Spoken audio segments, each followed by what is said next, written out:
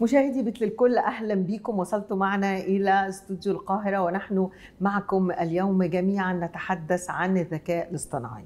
وخلينا النهارده من القاهرة محاور أيضا تضيف لهذا الموضوع أتمنى أنها تكون محاور إضافية أيضا حتى تنير الطريق عندما نستخدم الذكاء الاصطناعي. معي في القاهرة المهندس محمد النواوي الباحث التكنولوجي والمدون التقني. مساء الخير مهندس محمد. أهلا بحضرتك يا فندم. الذكاء الاصطناعي بيفكرني يعني وأنا بتكلم مع حضرتك كده حاسة إنه بعد كام سنة هيكون ده الناس حتى بتضحك على هذه اللقاءات اللي هو لسه بنتعرف عليه. فدلوقتي خلينا نقول يعني أنا عايزة من البداية بدأت الاستخدامات الفردية للأسف. يعني أنا كنت أتمنى إنه نبدأ بالعلم ونطبق.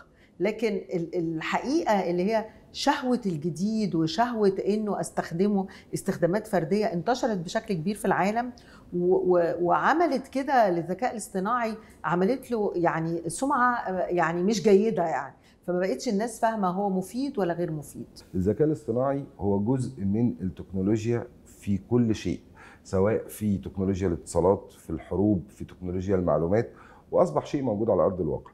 الناس لازم تتقبله تعرف إيه المساوئ بتاعته مش شرط عشان أنا بستخدمه في شيء كويس أبقى ما عنديش فكرة إيه الوحش اللي بيتعمل بيه. لازم طبعا. أحمي نفسي من الوحش وأستخدم الشيء في الكويس. فهي يعني إحنا دلوقتي في الجيل الثالث من الذكاء الاصطناعي الذكاء الاصطناعي معلومة كتير الناس ما تعرفش قوي عنها.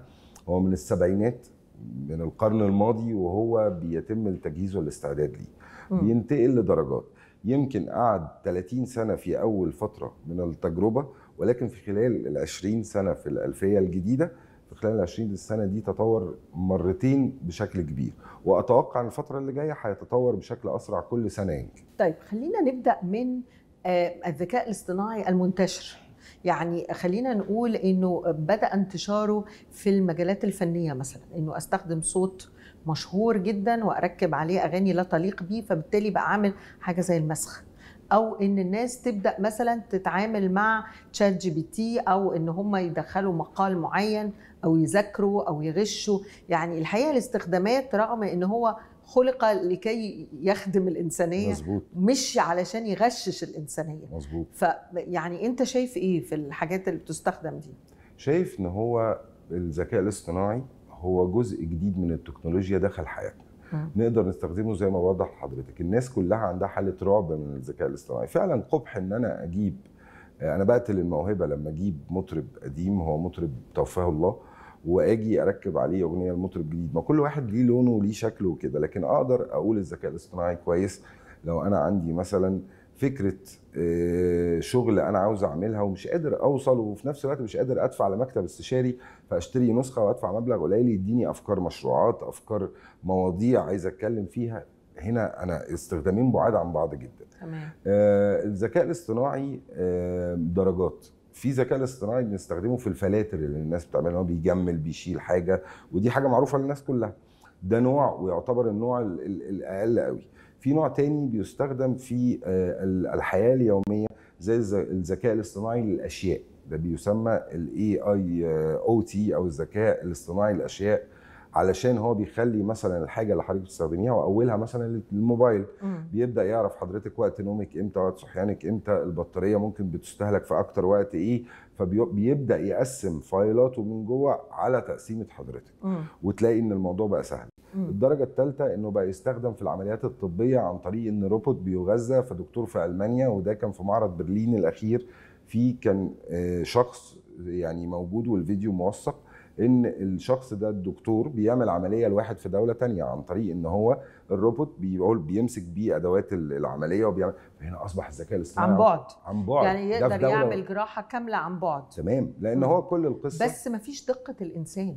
ما هو البعد ده لازم يكون سنتي فوق سنتي ما هو تحت. مين اللي بيعملها؟ هو الإنسان. الإنسان- هو الإنسان اللي بيعملها. آه. لا أنا أقصد الدكتور قاعد قدام شاشة وده بيتم حاليا. تمام. وقدامه الم... بس هو بيحاكي الدكتور في إيه؟ الدكتور عاوز يمسك المقص فالروبوت بيتحرك هو الدكتور هو الروح اللي جوه الروبوت. تمام. الروبوت ما هو إلا أداة وهو ده اللي أنا أقصده بالذكاء الاصطناعي السليم. اللي هيدينا نتائج عظيمة أنقذ حياة بني آدم وما خلاش الدكتور يسافر من دولة لدولة بالظبط. وقدر قيمة الوقت. خليني طيب نتكلم في شوية أمثلة إيجابية تساعد الناس.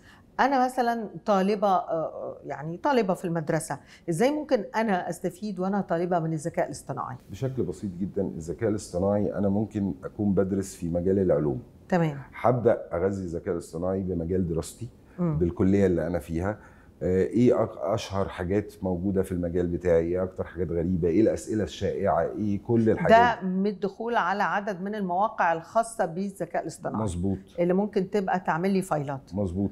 أنا عندي روح مش عارف اقسم نفسي إزاي يومي أقدر اغذي الذكاء الاصطناعي كأنه مساعد أو صديق لطيف. آه أنا يومي فيه كذا ساعة ممكن اعمل إيه؟ فممكن يساعدني. بالظبط. طيب أنا أنا باحث يعني عالم باحث بعمل رسالة دكتوراه. آه إزاي أقدر أستفيد مثلا لو أنا عايز أنا مثلا من الشرق الأوسط وعايز أعمل دكتوراه تنتشر في العالم الغربي إزاي أقدر أستفيد ببحوث موجودة في أمريكا موجودة في أوروبا وبالتالي أنا موجود في الشرق الأوسط؟ تمام بقدر أدخل ببساطة جدا على البوت بتاعي على في مو- مواقع الذكاء الاصطناعي كتير جدا اللي موجودة وببدأ أغذيه بالمعلومات دي وأقول له الدول اللي أنا بستهدفها ومش بس كده ده أنا هقول لو أنا عايز أوصل كمان ال- المحتوى بتاعي أو الرسالة بتاعتي أقدر برضه أستخدم الذكاء الاصطناعي. بيقول لي مين الدول اللي بتهتم بالعلم بتاعي؟ ما هو مفيش دولة بتهتم صحيح. بكل حاجة. في طبعا. دول صناعية في دول أو سياسية. إيه السوق بتاع الرسالة السوق؟ بتاعتي. أفضل حاجة. ودي برضو يعني جنب الباحث إنه يقدر يدخل يعرف مجالاته وإن هو يقدر يعمل انتشار كبير عن طريق الذكاء الاصطناعي. نقدر ناخد جنبها حاجة بسيطة جدا. لو رجعنا بالتاريخ ال- ال social media مثلا والذكاء الاصطناعي كجزء لا يتجزأ عن بعضه خرج ناس ممتازة فنانين وخرج طبعاً. يعني في ناس استغلته صح صح. وعملت محتوى سليم وقدرنا وفنانين عظماء دلوقتي كانت بدايتهم من ال social media.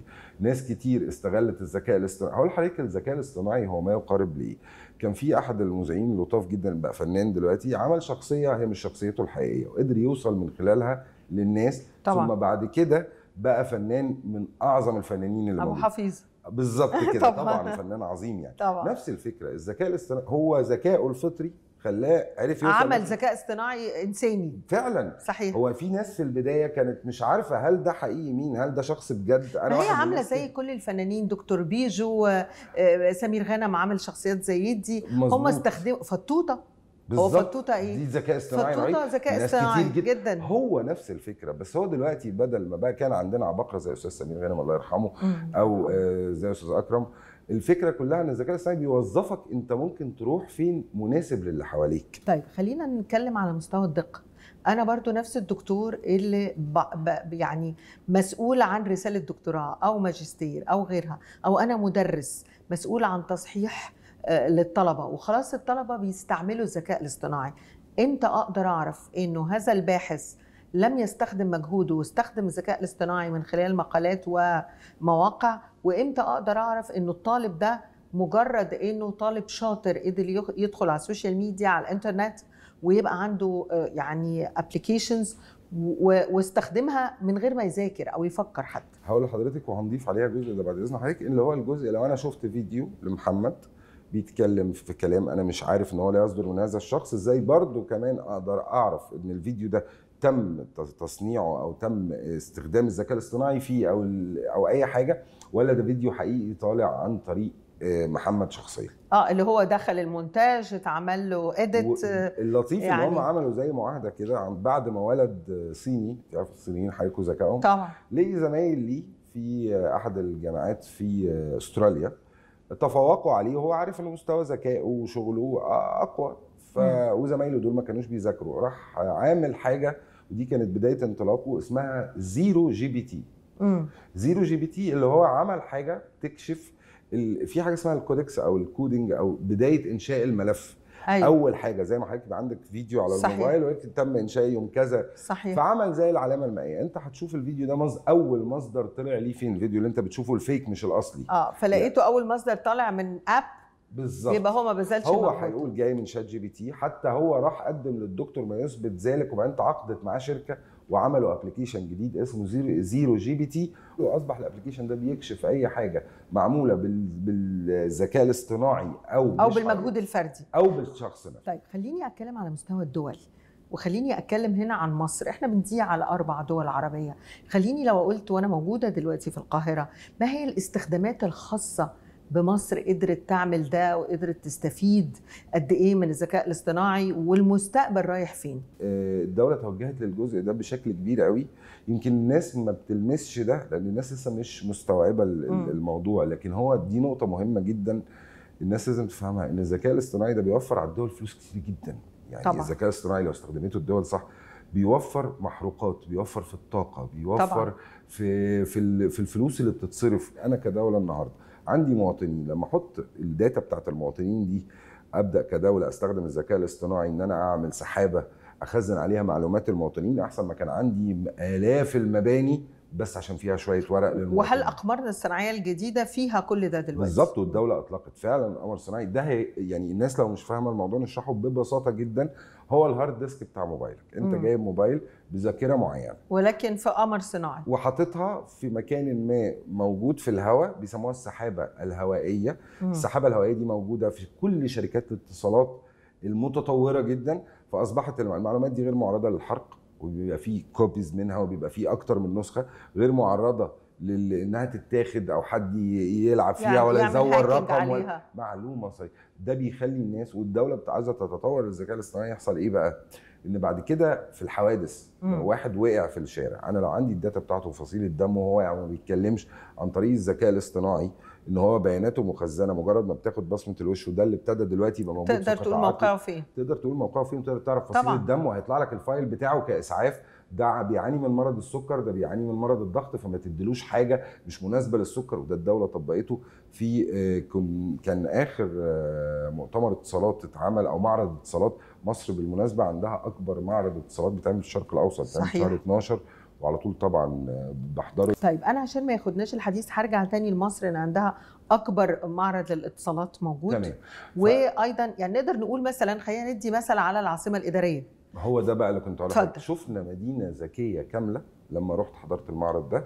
كانت مدينة ذكية كاملة. اولا شوفي حضرتك بقى فوائد الذكاء الاصطناعي والإيجابيات اللي ممكن توضح مم. إيه الذكاء الاصطناعي ده هيدخل فين. أول حاجة أي شخص مجرم هيدخل لهذا هذه المدينة الذكية عن طريق وشه من دخوله الكاميرات لو لقطته هيبان على شاشة الأمن إن الشخص ده عنده عنده سوابق جنائية كذا وضعه كذا كذا خلاص البصمة جابت فأنت البيانات ضمنت كلها. إنك عايش في أمان 100% نمرة اتنين ال baskets اللي بيترمي فيها أي حاجة لو لا قدر الله اتلمى فيها. إحنا ياما بيوت اتحرقت بالسبب ده. طبعا مع مع درجة معينة من الحرارة بتبعت رسالة للمطافي عشان المطافي direct تتحرك غير نظام الإطفاء الذاتي. وكل ده ذكاء آه. اصطناعي صحيح مش أجهزة مراقبة حريق لأنه مربوط ببعضه ده سيستم هستأذن مخرجي في أسئلة سريعة جدا مش هتاخد أكتر من اتفضل في رد. حضرتك اتفضل. عليها هل الذكاء الاصطناعي ممكن يضر الفن؟